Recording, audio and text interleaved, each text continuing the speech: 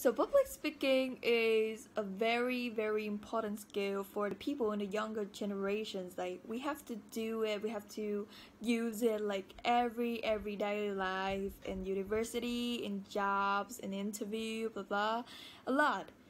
And EIY is a center who use that skill to develop into teaching by professional teacher with specialization in public speaking. So, like for us, we give a try to any of the thing we want to learn in library.